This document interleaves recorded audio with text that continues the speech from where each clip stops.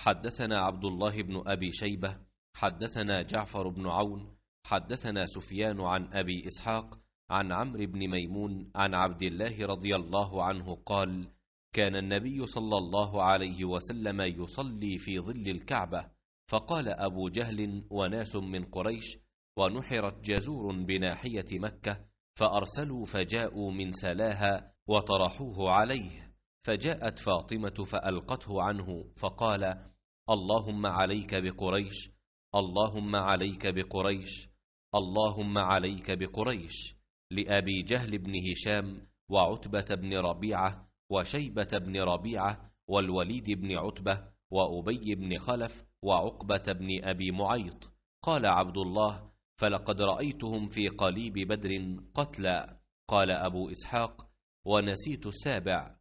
وقال يوسف بن إسحاق عن أبي إسحاق أمية بن خلف وقال شعبة أمية أو أبي والصحيح أمية.